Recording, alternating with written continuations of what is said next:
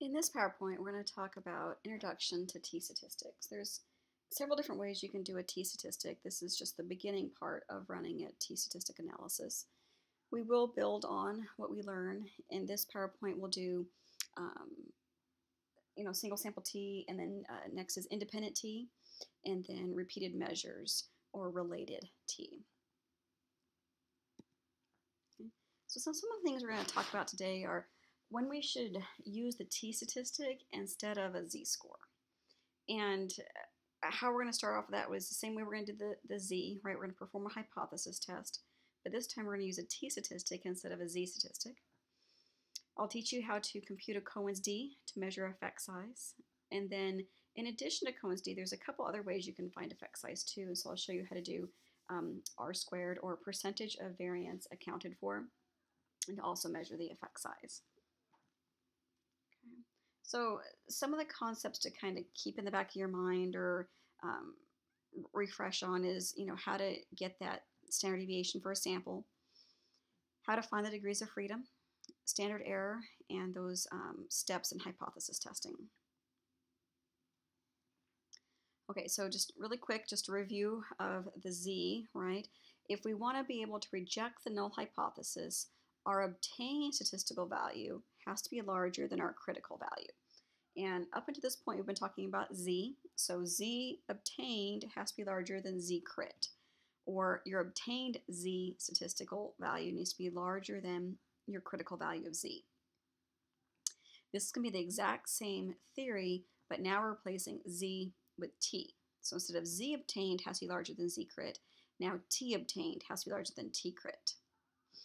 Um, same premise for the p-value though. The p-value needs to be less than the alpha. And again, the, um, the researcher is setting the alpha level. So if alpha set at 0.05, then that p-value needs to be less than 0.05. And um, p is the probability of the obtained statistic, or the probability of committing um, a type 2 error, or saying that nothing happened and it really did.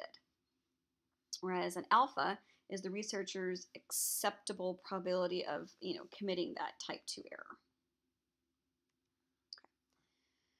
So again, to be able to reject the null hypothesis, we take our z obtained and we see where it falls. And as long as the z obtained falls beyond the critical boundary of, of the z or the critical z crit, then you can reject the null hypothesis, right? So if our z obtained falls either in this shaded area, right, or this shaded area, then you say that um, we can reject the null hypothesis. Now, your z obtained, you only get one number for z obtained. You can get a negative number for z obtained or t obtained. Um, you can get a positive z or t or r or, or, or ANOVA, right, or for f. Um, you can't get both plus and minus. You can have plus and minus critical regions, but you only have one obtained statistic. Okay, so again, we're going to use sample data to evaluate hypothesis about a larger population. And again, that alpha level is the boundaries that separate the unlikely from the likely.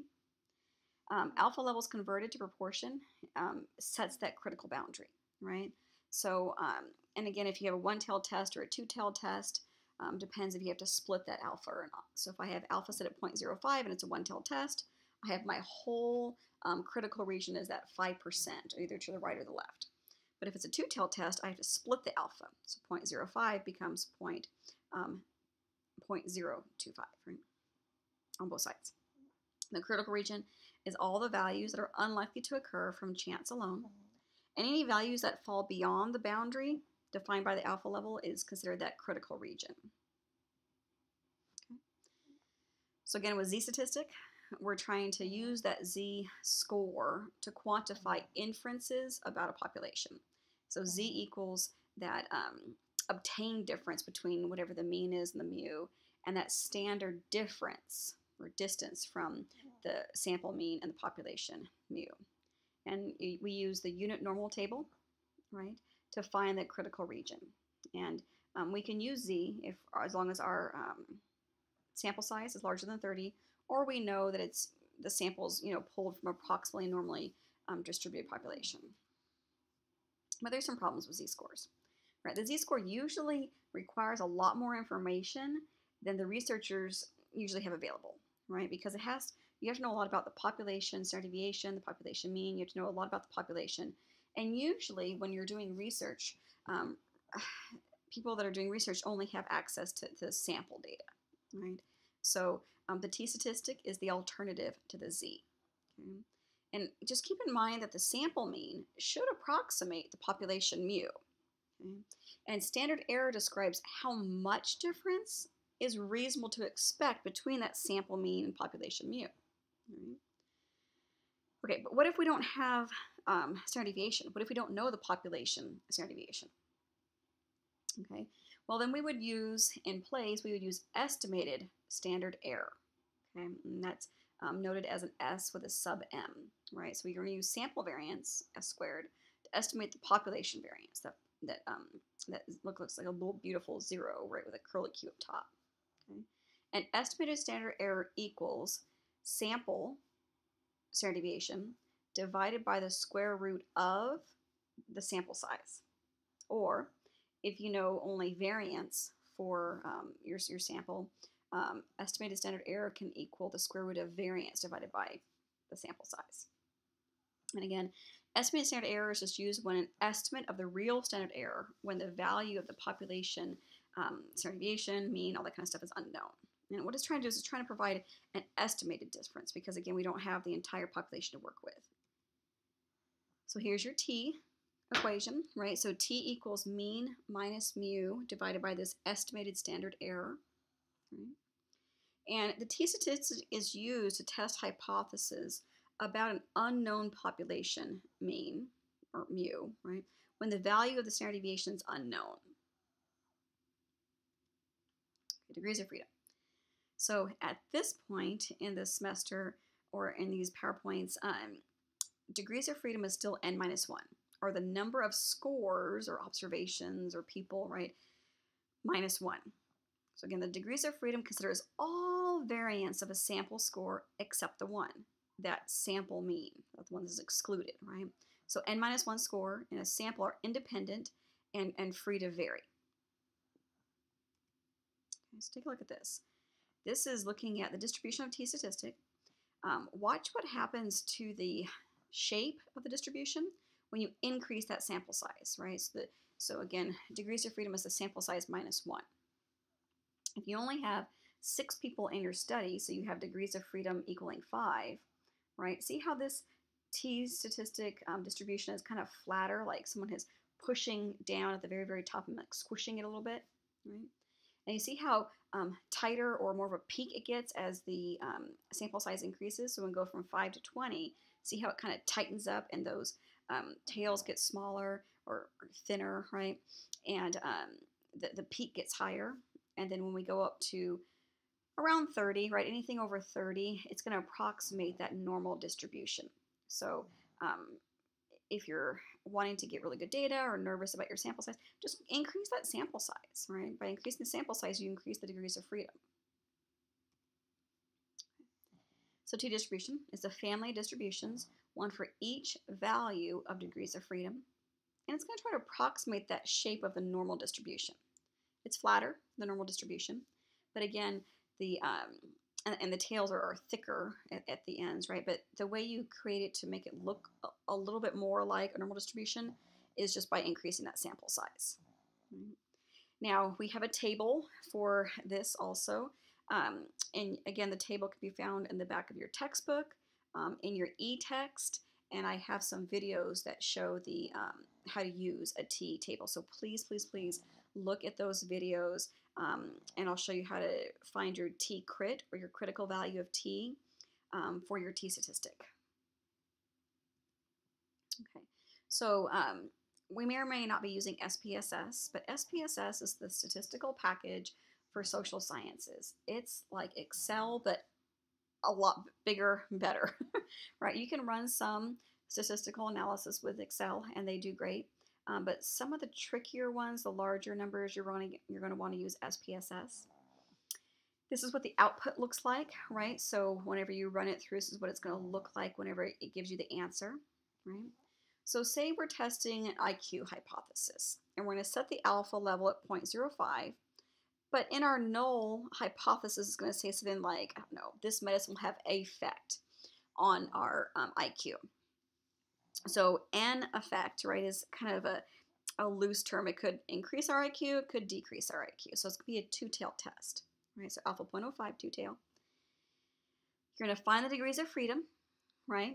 And then once you know the degrees of freedom, so in our sample size, looks we only have 10 people in this study, so our degrees of freedom is 9, right? Proportion of 0.05 and two tails. You should have found that the T crit, or the critical value of T, is 2.262. And again, I have a lot of videos on how to find, or a lot of examples in a video on how to find the T crit, um, or the critical value of T. So for this one, um, the T crit is 2.62 and our T um, obtained is 1.847, right? So we would um, fail to reject that null. Okay.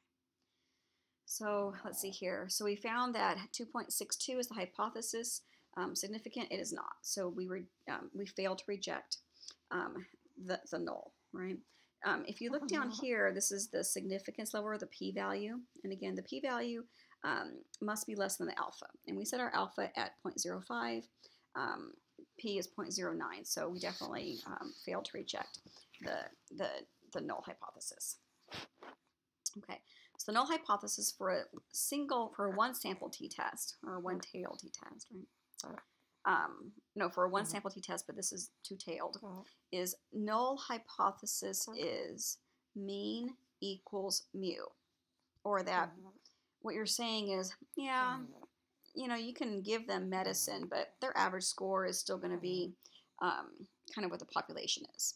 Now, the alternative hypothesis would then be um, that mean does not equal mu.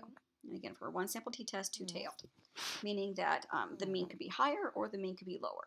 Mm-hmm. Again, here's our four steps for our hypothesis testing. We're going to state the null and alternative. So you're going to um, we're going to create that pairing, right, the null and alternative hypothesis. Select an alpha level. Again, the researcher um, determines what they want to set it at, 0.01, 0.05, 0.001. Right? You're going to locate the critical region using that alpha level and the t-distribution. So find out if you have 30 people in your study, well then degrees of freedom is 29. And then so figure out what the alpha level is and then um, work on the degrees of freedom and find out your t-crit. You're going to calculate the test statistic. So in this case, the t-test statistic, or your t obtained, and then make a decision. You know, do you want to reject that null, or do you want to um, fail to reject the null? So do keep in mind that um, if you're having a two-tailed test, you're going to have two critical regions. So um, in the shaded part here, the t equals negative 2.306 or t equals positive 2.306, right?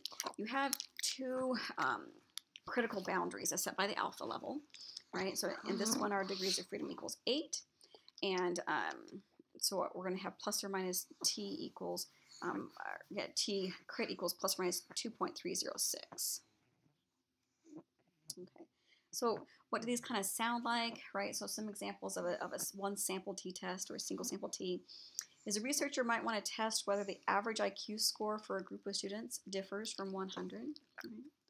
A cereal man manufacturer can take a, a box of a sample of boxes from the production line and check whether the mean weight of the samples differ from that 1.3 pounds at the 95% confidence level. Right?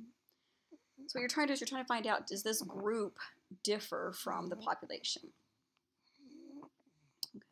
Okay. Again, um, your T equation looks a lot like your Z equation except um, because we don't know a lot about the population mu and the population standard deviation, we have to use that estimated standard error, right? So sample mean minus sample or population mu, right, their mean, um, divided by this estimated standard error. And how do you find estimated standard error?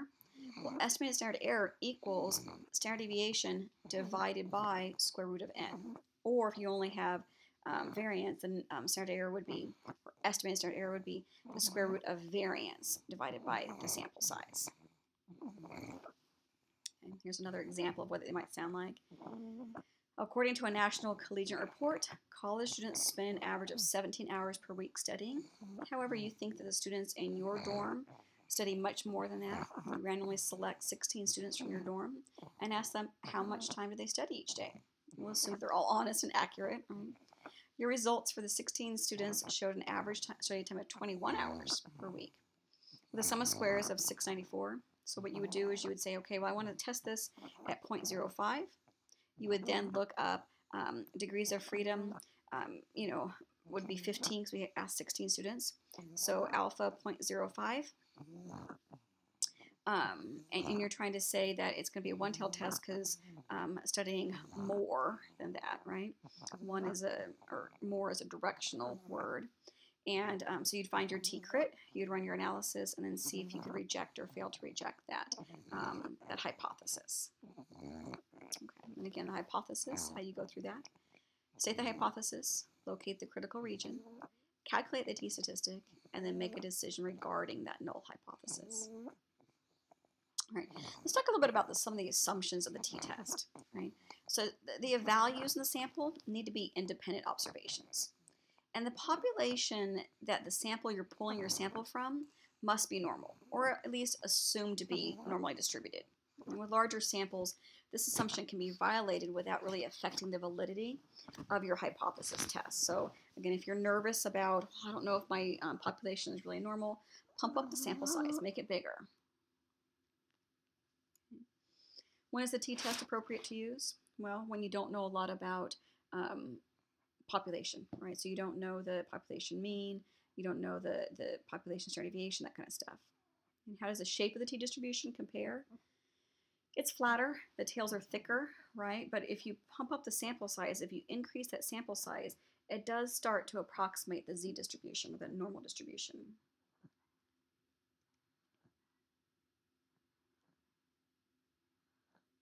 Okay. So how do we measure effect size?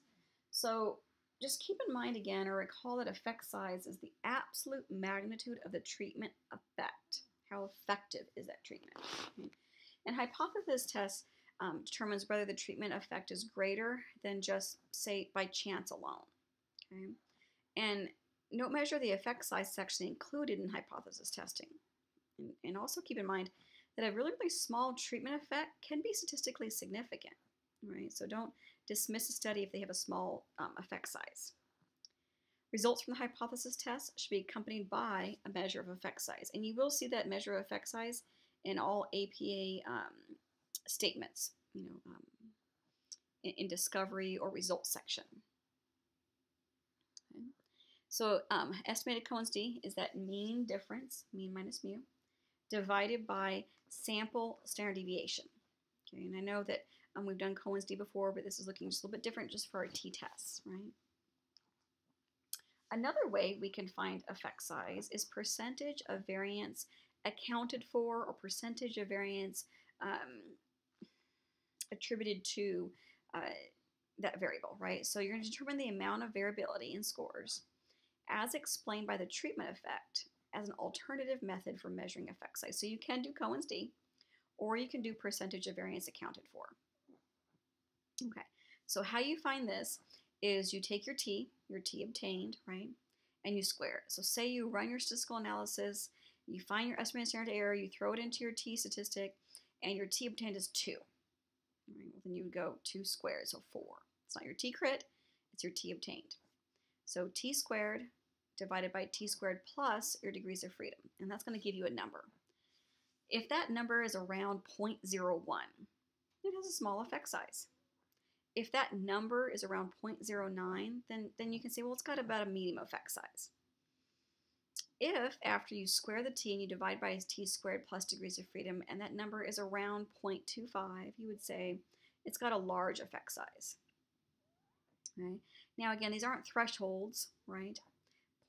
Um, 0.010, so 0.10 basically, um, would still be a medium effect size. 0.08 would also be a medium. So that's what I'm saying around. If it's around 0.09, you say medium. Okay, so let's do a sampling problem. So random samples obtained from a population with a mu of 70. A treatment's administered to 25 individuals in the sample, and then after the treatment, the sample mean is 79, with a standard deviation of 20. Was there a difference in the sample treatment mean from the population mean? It's saying use alpha set at 0.05. Okay. So again, was there a difference in the sample treatment mean from the population mean? Okay, so um, our t equation is, is t obtained equals mean minus mu divided by this estimated standard error. Okay, so let's find estimated standard error first.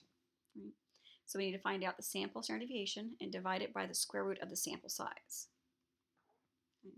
So our standard deviation for our sample was 20, and we had 25 people in the study. So 20 divided by square root of 25, or 20 divided by 5, right, is 4. We then throw that estimated standard error in the denominator of our t statistic, right, so 4 is going to be on the bottom. And our mean for our sample, right, was 79. Our population average was 70, so 79 minus 70 divided by 4, or 9 divided by 4, gives us a t obtained of 2.25. Okay. So let's find our, um, we'll do effect size. Right? Let's do um, t crit first. So again, get out your t table, and alpha is 0.05, 2 tail. Degrees of freedom then would be 24 because we had 25 people in our study. So our t crit is point or 2.064. Okay, so we reject the null, and I'm going to read this in English or in a, the, like the spoken word, and then I want you to read it kind of mathematically as I go along, right? So we reject the null hypothesis as our t obtained with 25 people in the study gave us a test statistic of 2.25. We rejected the null hypothesis because our p was less than 0.05 alpha. So part of this class is teaching you how to be statistically literate, right? You can be literate, you know, with written words. You can also be literate um, computer, tech savvy, right? You can be computer literate. This is you becoming statistically literate or being able to read on a higher level um, statements written in statistical language. Okay, so what about effect size? Let's do um, let's do Cohen's d first, and let's do the next one, percentage next. Okay, so we take our mean 79 minus our mu of 70 and divide by 20. Right, so 9 divided by 20, 0.45. So we'd say that's about a medium effect size. So let's do or um, percentage of variance accounted for. Okay. So our t obtained is 2.25 squared divided by 2.25 squared plus the degrees of freedom because we had 25 in our study, so degrees of freedom is 24. So our percentage of variance accounted for is 0.17, or again, medium effect size. Okay. So again, this is a statistical sentence, and I want you to um, read along mathematically as I'm speaking in a language, right? So um, we're going to reject and also um, our T, we ran a T test, and um, it had 25 people in the study, and our test statistic resulted in 2.25. We rejected the null hypothesis as our p significance value was less than the alpha set at 0.05, and it had a medium effect size of Cohen's d of 0.45. Or in the second one, um, if you read the second one, a percentage of variance accounted for by, um, you know, you'd say, well, then it has a medium effect size again. Okay, so get out your um, t-table again, and I'm going to give you some sample sizes and alpha levels. All right, I'm going to tell you if it's a one-tail or two-tail test. So um, push, still pause after you get out your t-table and run through these, and then come back and check your answers. So hopefully you had time to check your answers. So with we have um, let's see here, let's just give you the answers. So when we had uh, a degrees of freedom 11, alpha 0.01, two-tailed, our T crit was 3.16 or 3.106. If we had 25 people, so degrees of freedom 24, in the next study we used alpha 0.05, but we kept it at a one-tailed test. Look how much smaller our T crit is, right? Um, 1.711. Um, if we had 65 people in our study, so degrees of freedom equals 64, we use alpha 0.05 but we had a two-tail test, so we just split the alpha at 0.025. Our t-crit jumps up to 2.00. Okay, so when the sample size is small, less than 30, the t-distribution um, is what? Okay, so hopefully you got this one. It is it's flatter, right? Almost looks like someone's pushing on the top of the um, distribution. It's more spread out. The tails are going to be thicker right? It's just going to be more flatter than the z. Okay. Again, always, as always, complete your homework, text or email me with any questions, and we're off studying uh, t statistics. Again, like I mentioned, we're going to do um, independent t and repeated measures t. This is the beginning part of our t statistics.